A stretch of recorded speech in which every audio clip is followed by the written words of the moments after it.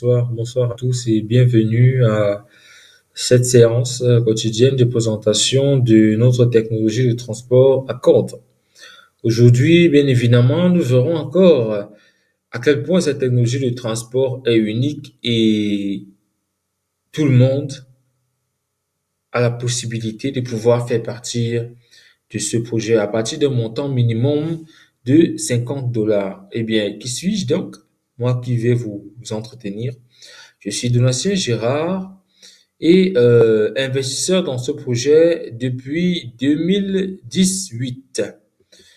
Dans ce, dans ce webinaire, aujourd'hui, nous parlerons des dernières nouvelles du projet et nous verrons les facteurs négatifs de l'activité de l'homme qui conduisent à la destruction de l'environnement. Nous parlerons des possibilités et perspectives du système de transport actuel innovant qui est en train d'entrer sur le marché mondial du transport. Je vous montrerai comment vous pouvez contribuer à l'avènement de ce transport écologique et nous verrons donc qu'est-ce que Skyward Community vous offre. Quels avantages, perspectives et bénéfices vous tirerez de votre participation à ce magnifique projet? Alors, étape 14.2.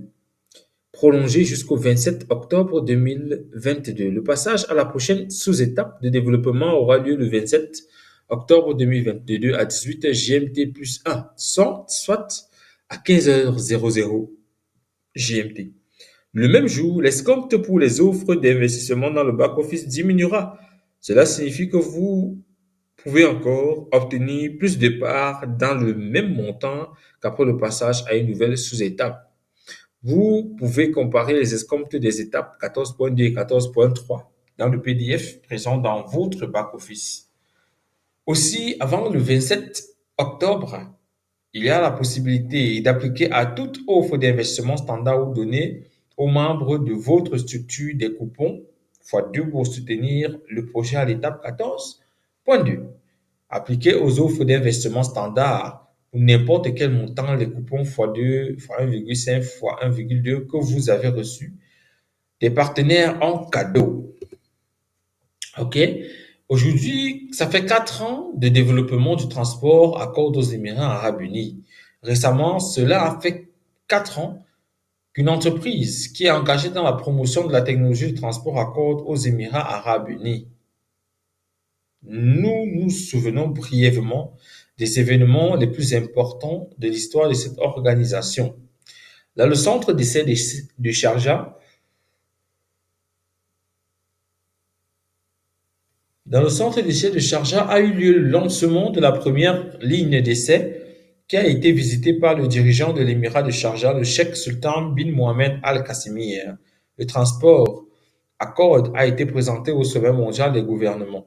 L'organisation indépendante TUVSW Standardization Certification a mené la certification de transport Accord à Sharjah. Les autorités de Sharjah ont approuvé l'exploitation de la première ligne de test dans le centre d'essai. Le transport à corde a été présenté à l'exposition universelle Expo 2020 à Dubaï, au cours de laquelle plus de 100 délégations ont visité le centre d'essai de Sharjah.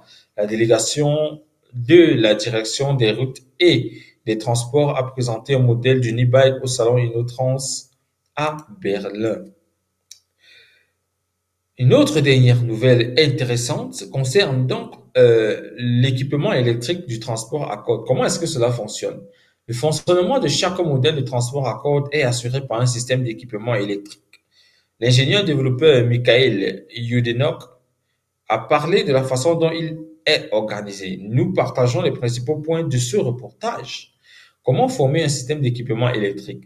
Vous devez d'abord utiliser des fonctions du futur véhicule. Lorsque le concept du véhicule est connu, les spécialistes du projet sélectionnent les éléments nécessaires. Autant pour moi les, spécialistes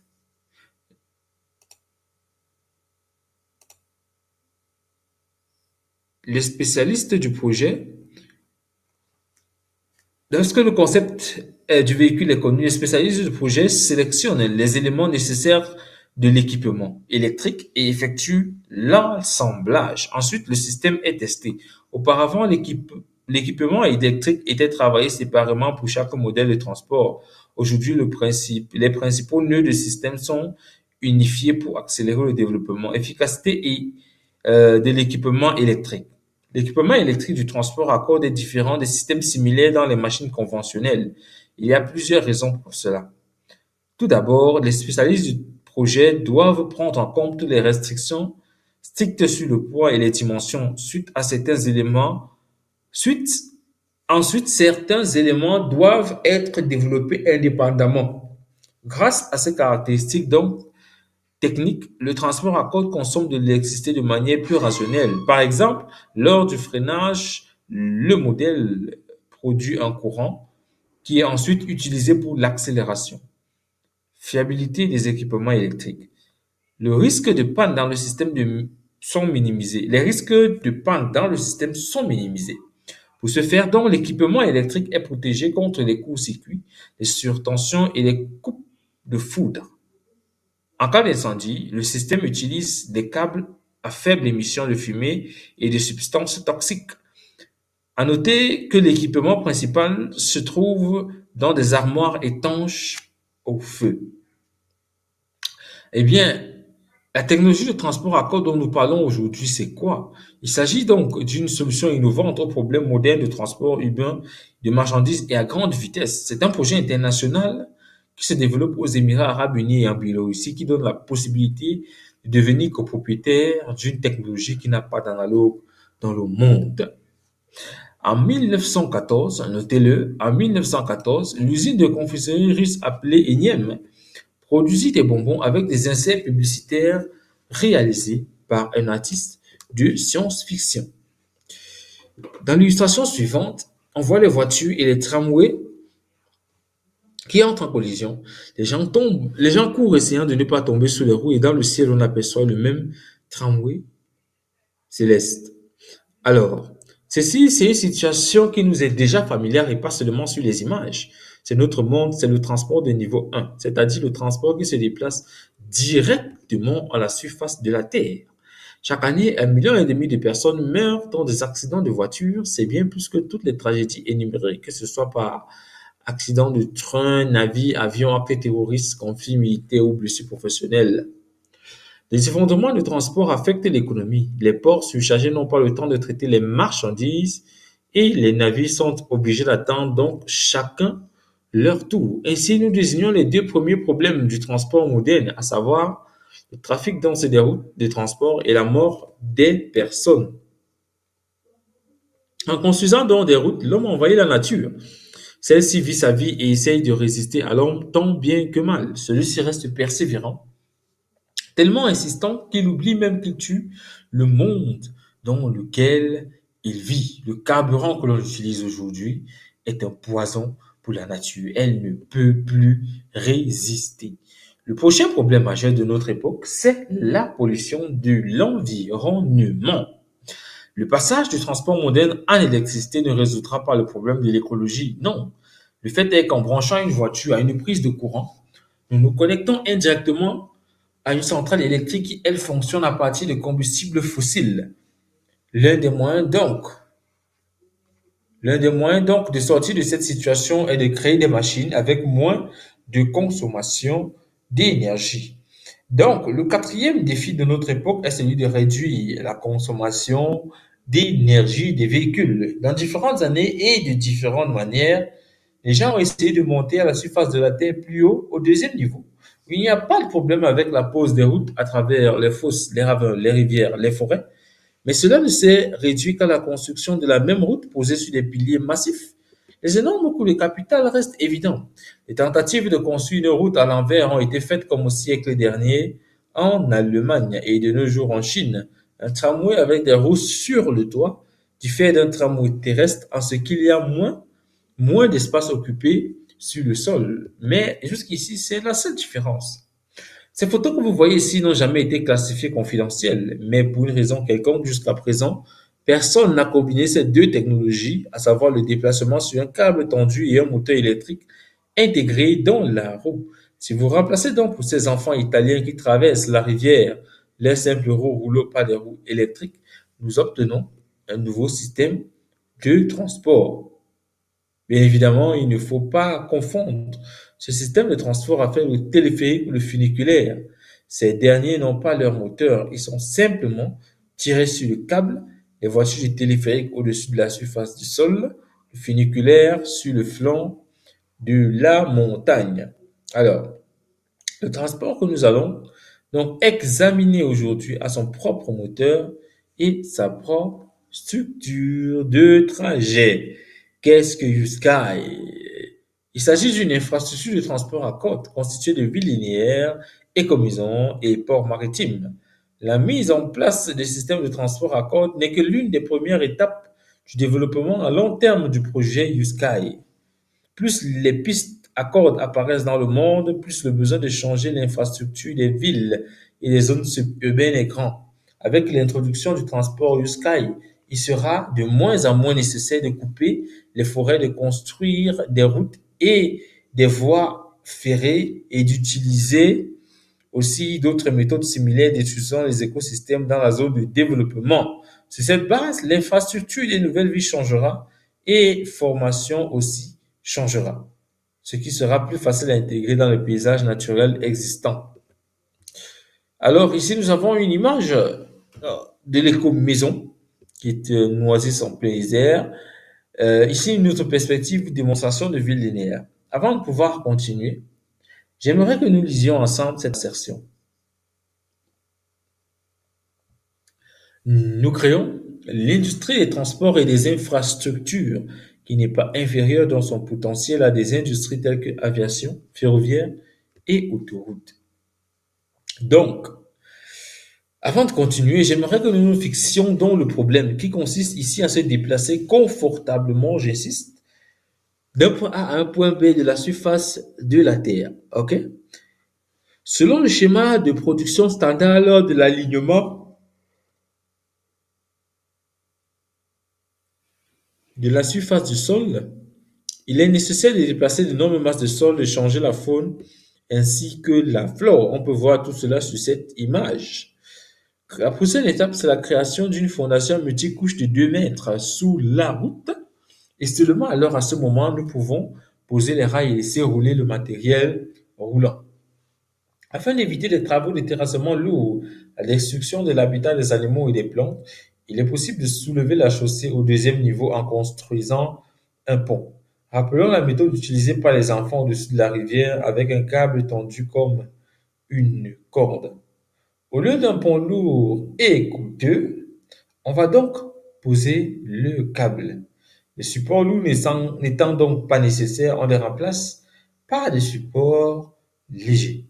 On va ainsi tirer le câble et fixer ses extrémités dans le sol de la même manière que les cordes sont fixées sur le corps de la guitare. Alors, nous enlevons ensuite les supports qui n'étaient pas du tout nécessaires et nous plaçons donc, ok, nous entourons notre câble par une enveloppe. Nous obtenons une structure de rail unique.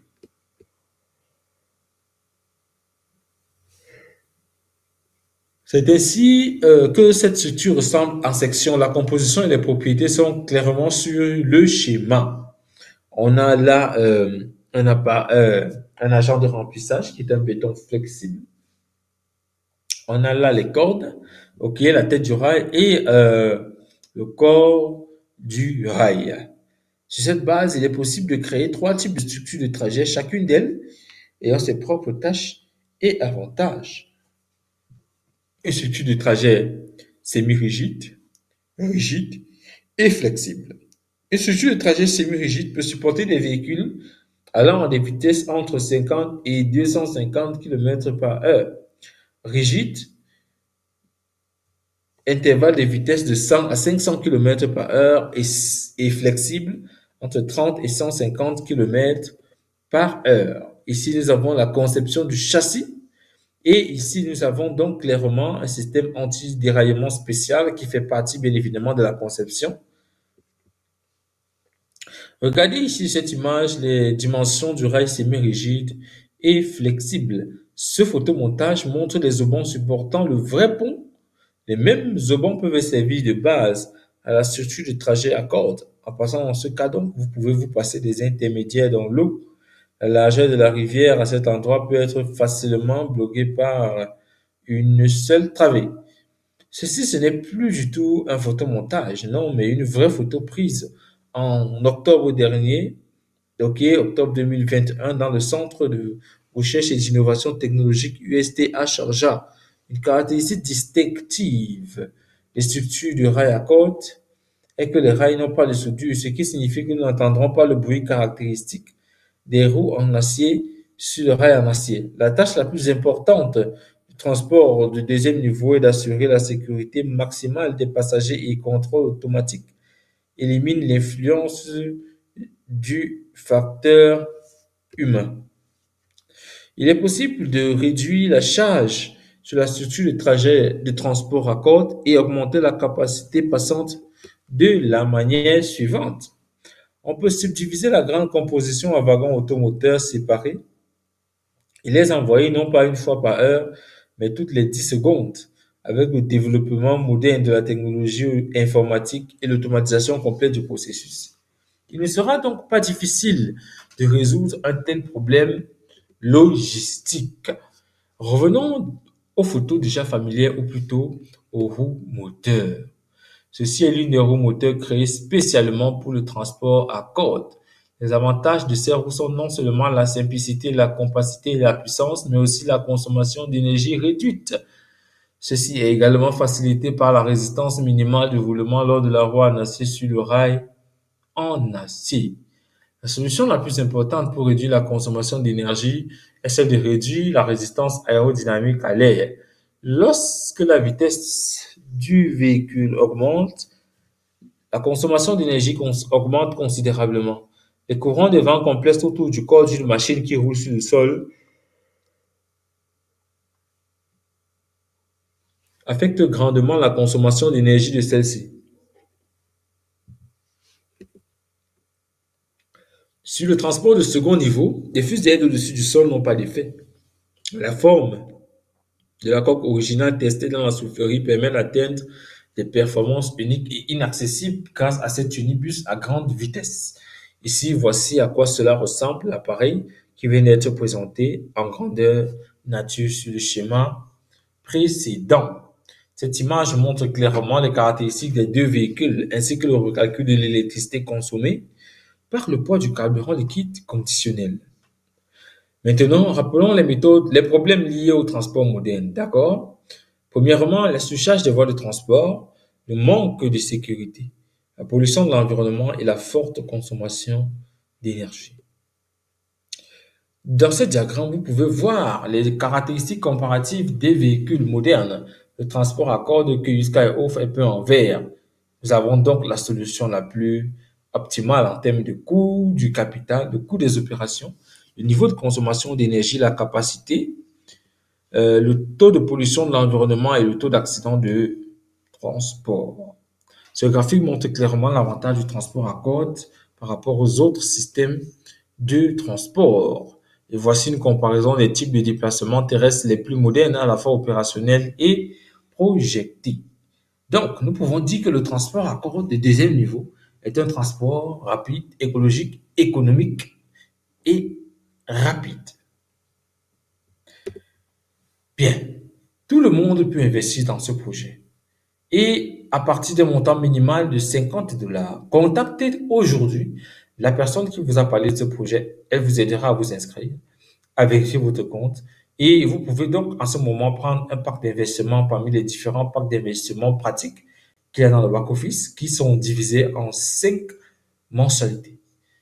Il y a aujourd'hui plus de 400 000 euh, investisseurs dans le projet avec euh, des hommes d'affaires, des enseignants, des ingénieurs et des personnes de différentes professions. Les perspectives d'investissement qui s'ouvrent à vous sont les suivantes. Les dividendes, le rachat d'actions, héritage et la vente d'actions. L'héritage, c'est que les actions aujourd'hui que vous avez sont votre propriété. Vous pourrez les léguer à vos enfants, petits-enfants et arrière-petits-enfants en héritage. La mise en œuvre réussie du projet pour les, pour euh, les dividendes entraînera donc euh, le début de la division, la distribution des dividendes à tous ceux qui détiennent des parts d'actions de cette entreprise.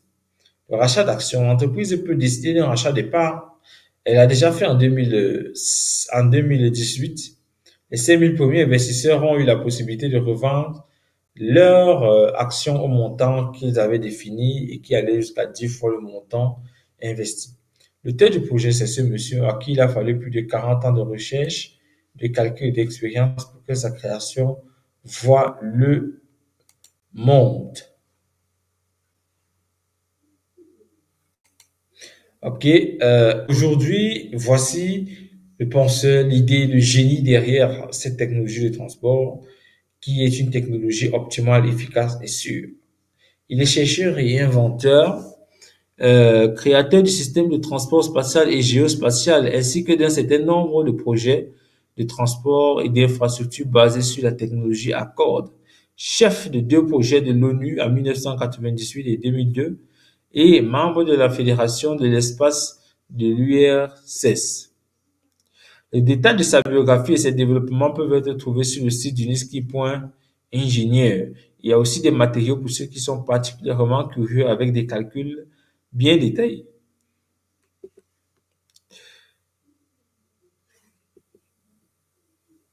Le système de transport raccorde après 11 modèles de véhicules certifiés que vous pouvez voir ici, et en grandeur nature, et quatre modèles de transport pour le transport des marchandises? OK? Le transport sur les rails à cordes se déplace au-dessus de l'eau et des routes sans interférer avec les autres modes de transport.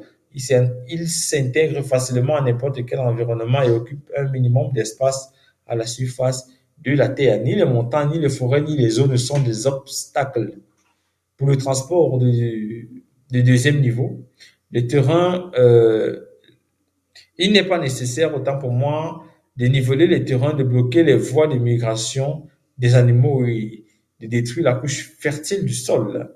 Il a besoin de l'accès au sol le plus minimal qui soit. Avec les méthodes modernes de livraison de structures, de construction par des drones volants, c'est fourni également par la technologie. Il n'est pas nécessaire de poser des voies d'accès au, au site d'installation des supports. Le transport à côte s'intègre facilement à la fois dans le paysage naturel et les infrastructures urbaines. En ses propres supports, il peut traverser la fondation sans charger, euh, les bâtiments sans charger la fondation. Au début de 2020, le transport à corde a été présenté à 18 grandes expositions internationales de Berlin à Singapour, où il a toujours attiré beaucoup d'attention. Ces photos que vous voyez ont été prises en 2018 à Berlin lors de l'Expo 2018 à Innotrans. Notez la photo en haut à droite lors des employés euh, du stand de téléphérique suisse regarde en direction du Skyway. Avant de traiter d'entrer sur le marché, autant pour moi, tout véhicule, en particulier celui impliquant le transport des personnes, doit subir de nombreux tests d'essai.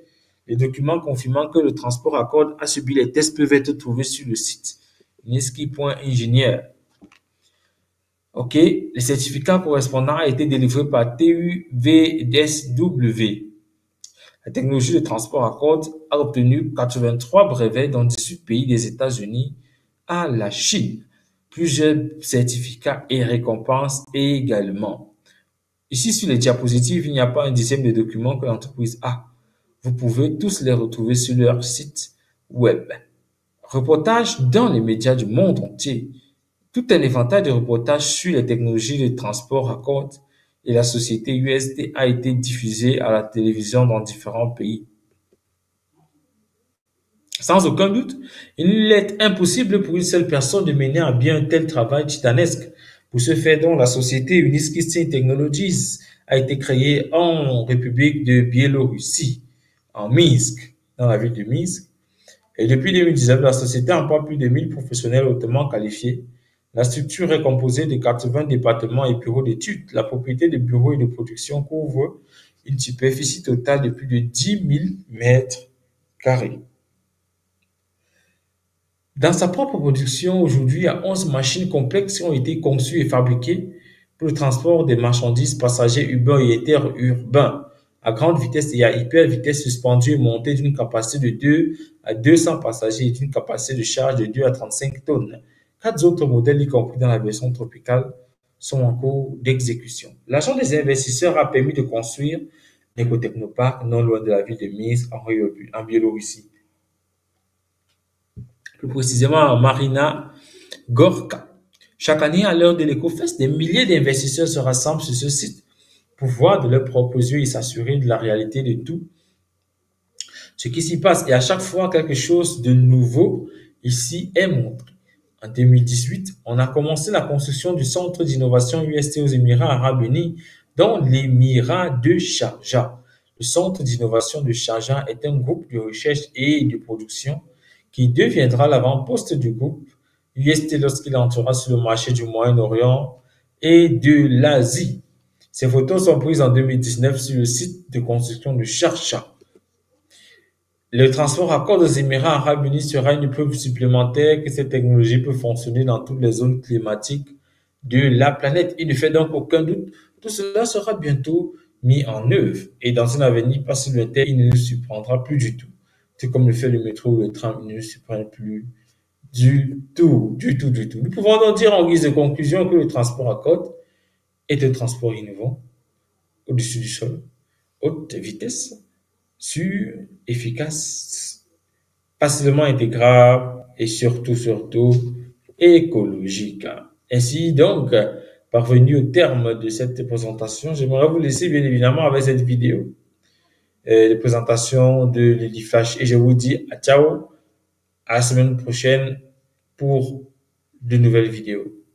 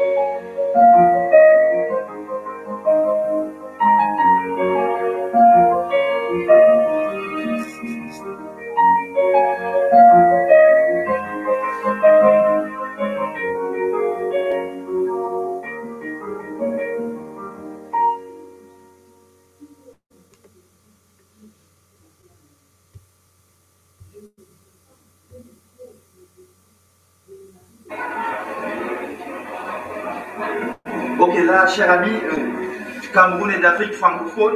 Nous sommes dans le Nébus à grande vitesse. Chaque fois, euh, on a l'habitude de le voir dans la télé. Aujourd'hui, c'est du réel, les amis. C'est du réel. Je vous invite à adhérer massivement à, l'idée du concepteur, Dr Esquive. Il faut participer à ce projet. Et vraiment, euh, c'est du réel. le financement s'achève d'ici peu et je vous invite massivement à pouvoir adhérer le plus tôt possible. Là, nous sommes, comme vous pouvez le constater, au centre d'innovation technologique Charja avec euh, les autres invités qui sont venus euh, de par le monde pour voir cette technologie de leurs propres yeux. Donc, euh, adhérer massivement. Cameroun, Hoye, Africa, Hoye, Uniski String Technology, Hoye.